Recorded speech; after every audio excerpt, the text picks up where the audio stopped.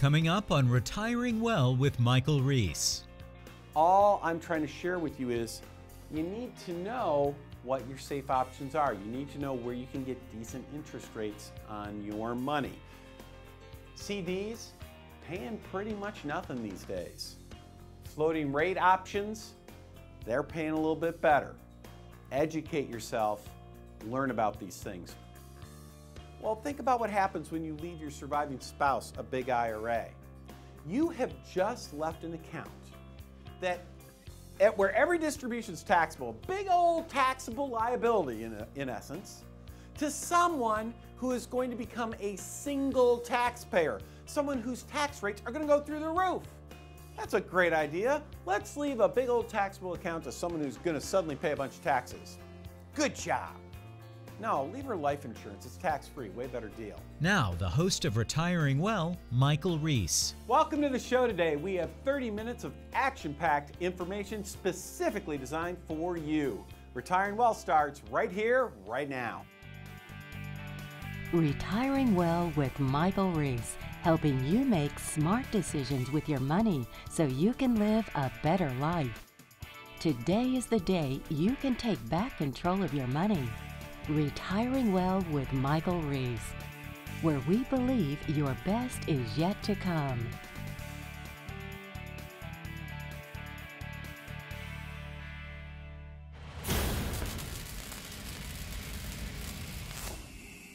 Hi, this week in CFP Talk, we are looking at the difference between CDs and things called floating rate instruments.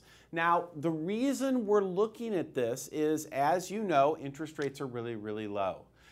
In a very low interest rate environment, things like CDs, traditional options for your safe money, they're just not paying what they used to pay. And that has a real negative effect on you know, how your money works for you. We want to make sure that every part of your portfolio is working as hard as possible for your retirement. So let's go ahead and take a look at what's happening with CDs in today's environment. Now, as I'm recording this, I went on uh, bankrate.com and they told me that uh, national average, or maybe even it's the best CDs out there, I'm not 100% certain with Bankrate sometimes, but generally speaking, they're saying a five year CD is paying right around 1.5% a year. Now, what does that really mean to you? What does that mean? Well, here's what it means. Let's imagine that you put $100,000 of your savings into a five year CD at 1.5%. What that means is every year they're going to pay you $1,500 of interest. So $1,500 is credited to your account. If we do some simple math and you know, ignoring uh, compounding over five years, it's not a major issue. Uh, but 1500 a year, you get it for five years. They're essentially saying, you let us use your 100,000 for the next five years, and at the end of the five years, we'll give you back maybe $7,500. Now, for a lot of you, I know what you're thinking. You're thinking, gosh darn it, um, you know, it seems all right, but on 100 grand over five years, why would I tie my money up for that? I mean, it just doesn't seem to make sense. So, how can we do better? What can you do to improve on these numbers? Well, I want to introduce you to something called floating rate instruments. These are normally issued by insurance companies. Uh, you could go to an insurance company, get a floating rate, uh, they would call it an annuity, and for five years, they would tell you, we will pay you not 1.5% a year, we'll pay you 2% a year. Well, that's not very exciting. It's not very, um, wow, that's, you know, that's super awesome or anything like that. But then they have a little twist. And what they do is we'll pay you that 2% plus, plus something called LIBOR. LIBOR. Those are, that is basically international lending rates. Now, what that means is this if in, LIBOR today, as I'm recording this, is about 0.8%. So that means in the first year these types of instruments, they would pay you 2 plus 0.8. They're going to pay you 2.8% in the first year. What do they do next year? They say, well, we're going to pay you the 2 again, plus whatever LIBOR is next year. So here's the thing. Let's imagine you think interest rates are going to rise. If interest rates rise, that guy rises. That number gets bigger, which means this number gets bigger each year over those five years. For the sake of illustration, let's imagine that on average, you get about three over the five year period. Let's imagine that. Well, on 100,000, the same 100,000, that leads to $3,000 every year. And over five years, that leads to 15,000 total. Now, are interest rate movements in the future guaranteed? Of course not. That number could go higher, it could go lower. Uh, hey, are you going to get 2%? You know, it's 2% today when I'm recording this, but those numbers change. It might be higher or lower in the future. All I'm trying to share with you is you need to know what your safe options are. You need to know where you can get decent interest rates on your money. CDs, paying pretty much nothing these days. Floating rate options, they're paying a little bit better. Educate yourself, learn about these things. Folks, if you have any questions about this or anything else we talk about in the show, please feel free to give us a call. The number's right there on the screen.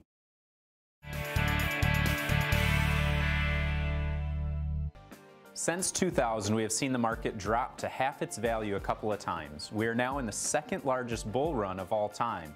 Is the bear po poised to strike again? Many are speculating that it is, but we are not going to take that position.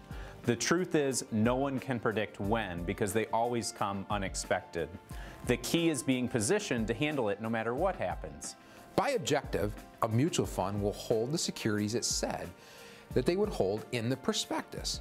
For example, a large cap mutual fund is going to hold large company stocks.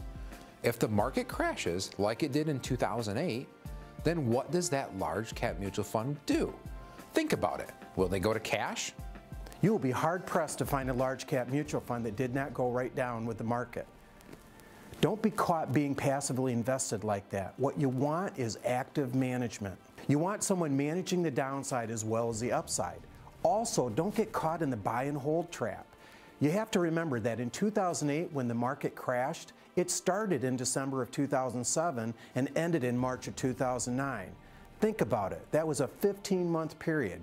Every month, people were getting their statements and they would ask their advisor what they should do. And what was the mantra? Just hold. It'll, it always comes back. Sure, it did, almost four years after it hit its bottom. We think that is unacceptable. It is also critical to understand what you are paying in fees. It continues to amaze us how little people understand what they are paying. There are only two ways to grow a portfolio. One is by the interest and dividends being earned by the underlying securities, or what we call yield. And two, by appreciation, the idea that a security will grow in value.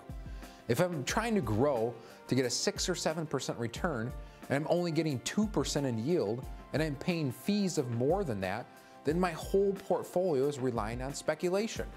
That's where you get volatility. We have all been taught you can't have great reward without taking great risk. It is not true. You can achieve market-like returns without volatility. We have the tools today to show you how much risk you are taking. We have the tools today to show you how much you are paying in fees. Don't you think you have the right to know? To the first 10 callers, we will perform a risk and fee analysis for you absolutely free. If you had a life-threatening illness and the doctor was prescribing a critical procedure, well, wouldn't you find it appropriate to get a second opinion? You have saved retirement your whole life. Don't you think your life savings deserves a second opinion as well? Again, for the first 10 callers, we will do the risk and fee analysis and we'll show you how, how to avoid being just passively invested. Give us a call.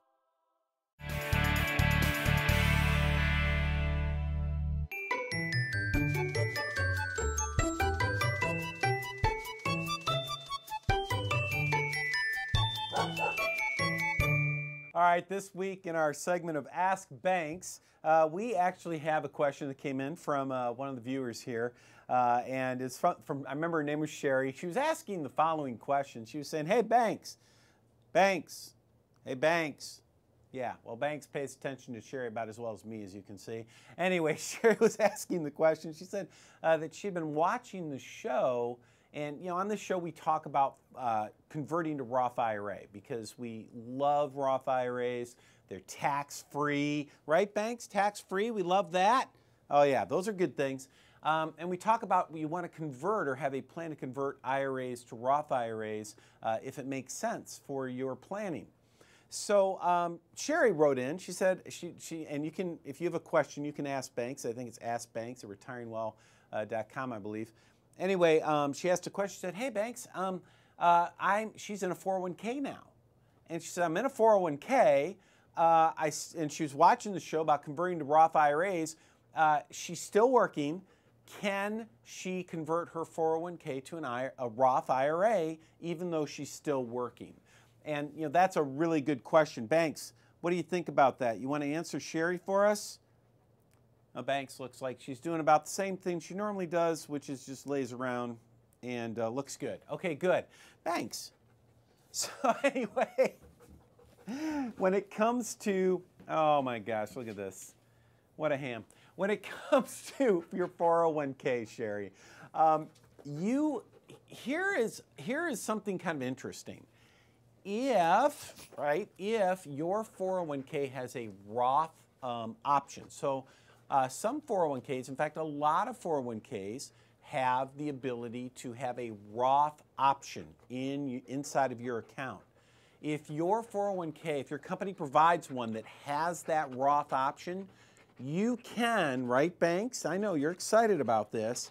You can convert uh, within your 401k your the, the dollars that are any any portion or the whole amount Dollars that are in the traditional account, you can convert to the Roth side. Now, you will pay tax, of course, in the amount that you convert. So if you have, you know, 100,000 that you convert, you're going to pay tax on 100,000 of income. So remember that. Now, one thing that is different with Roth conversions inside of a 401k is that um, a Roth conversion inside of a 401k you cannot change your mind. So with a regular IRA, if you go IRA to Roth uh, IRA, you have a period of time where you can change your mind and go back. Uh, but not inside of the 401k structure. You make that change in the 401k, it is done. You cannot change your mind uh, after that. So it's irrevocable, is the term. Um, now, the other thing you can think about, Sherry, is you said you're still working if this is the 401k that you're um, at a job you're at, you know, your options may be limited. Um, what you might need to do, if you're over the age of 59 and a half, you might be able to do an in-service rollover. And that just means you can take money, even though you're still working, from your 401k and move it over to your IRA. And wow, that's, that's cool. Now, uh, poor Banks, she's, I've lost her here. Um, but anyway, you can go from 401k to IRA and when that happens, you can then do the typical Roth conversion process. Um, but what if you're still working, you're under the age of 59 and a half? See, I don't know your circumstances, um, but if you are too young, um, then you're kind of stuck. You kind of have to wait until you either A, get a new job and move away from that company, or B, hit the age of 59 and a half.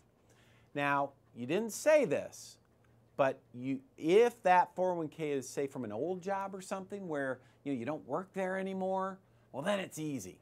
Then you just go from 401k to IRA, and off you go. You can do all kinds of cool stuff there. Uh, so, uh, unfortunately, I didn't have a quick answer, and banks didn't have a quick answer for you.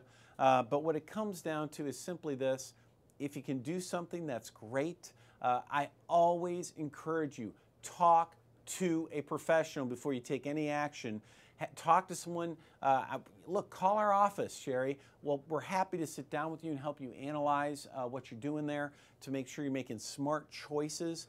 And, you know, folks, for all of you watching the show, uh, if you have questions about Roth conversions and 401ks and IRAs, I want you to call us. Give us a call. Uh, we are here to answer your questions.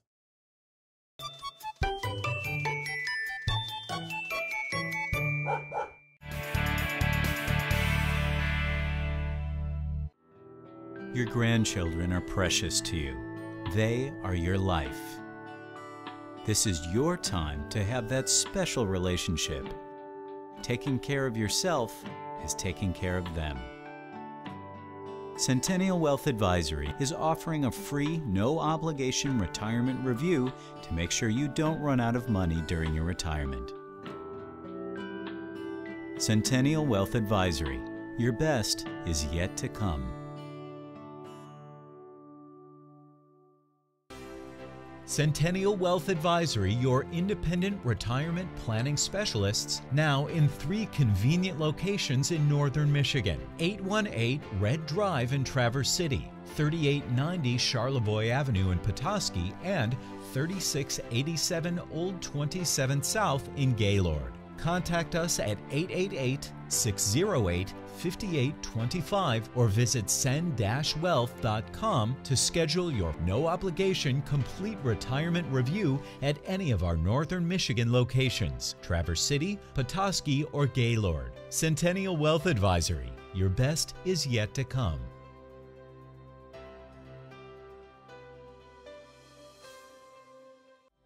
Essential financial strategies for a comfortable retirement. Join the Centennial Wealth Advisory team for an informative and exciting presentation with complimentary gourmet dinner and learn how to protect your assets from market volatility, how to plan your retirement, the best ways to generate lifetime income, how to safeguard your assets from unnecessary taxation the difference between retirement advisors and Wall Street advisors, why getting a second opinion may be your most important financial decision, and much more. Choose the date and location that works best for you. Wednesday, November 2nd at Otsego Club in Gaylord. Thursday, November 17th at Boone's Long Lake Inn in Traverse City. Presentations start at 6 p.m. and are free to attend with a complimentary gourmet dinner to follow. But seating is limited and fills quickly. Call 888 608 5825 or visit send-wealth.com to reserve your seats today. There's no cost and no obligation. Don't miss this important presentation,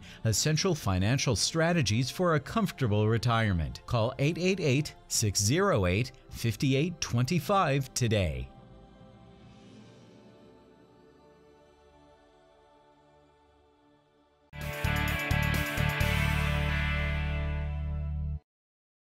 All right, folks, this week I want to ask you the question Is your IRA, 401k, 403b, etc., are those traditional retirement accounts?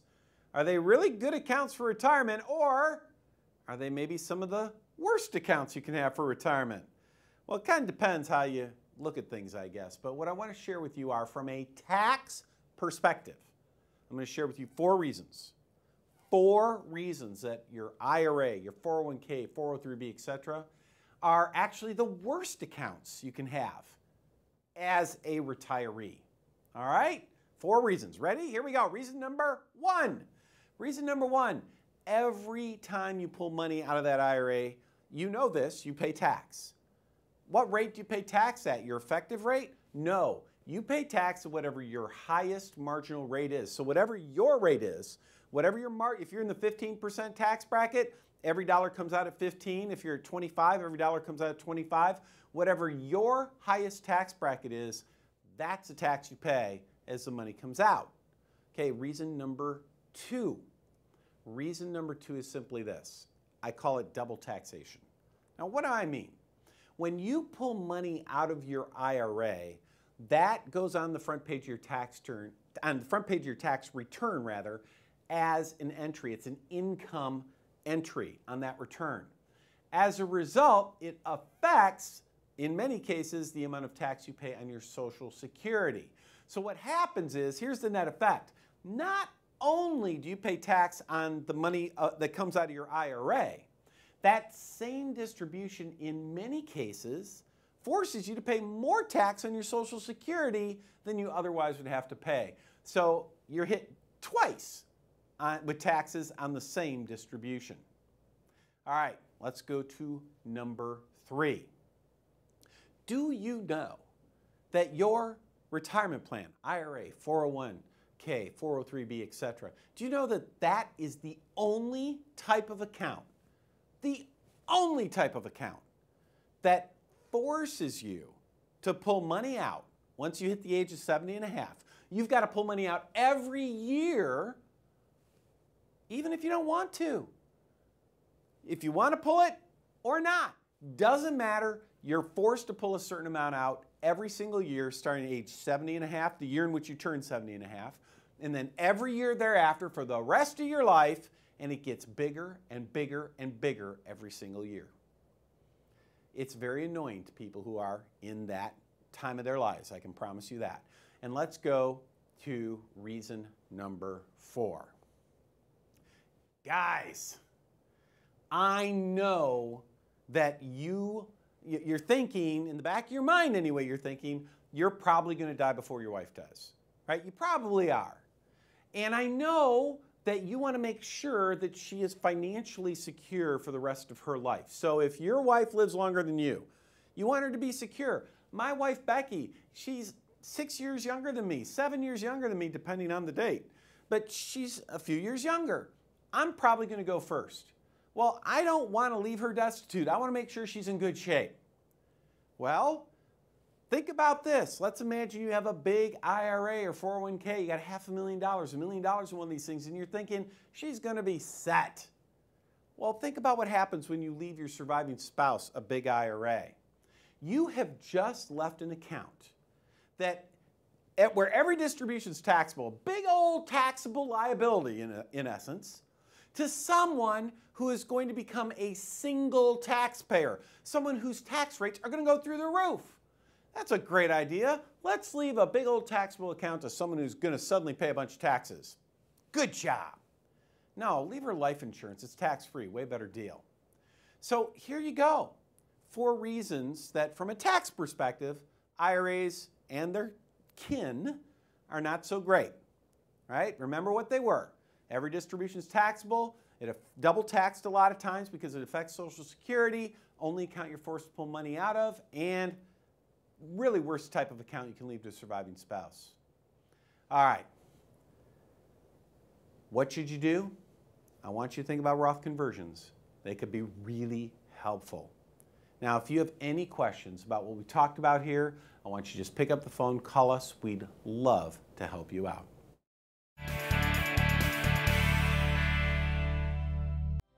Essential financial strategies for a comfortable retirement. Join the Centennial Wealth Advisory team for an informative and exciting presentation with complimentary gourmet dinner and learn how to protect your assets from market volatility, how to plan your retirement, the best ways to generate lifetime income, how to safeguard your assets from unnecessary taxation the difference between retirement advisors and Wall Street advisors, why getting a second opinion may be your most important financial decision, and much more. Choose the date and location that works best for you. Wednesday, November 2nd at Otsego Club in Gaylord. Thursday, November 17th at Boone's Long Lake Inn in Traverse City. Presentations start at 6 p.m. and are free to attend with a complimentary gourmet dinner to follow. But seating is limited and fills quickly. Call 888 608 5825 or visit send-wealth.com to reserve your seats today. There's no cost and no obligation. Don't miss this important presentation, Essential Financial Strategies for a Comfortable Retirement. Call 888 608 5825 today.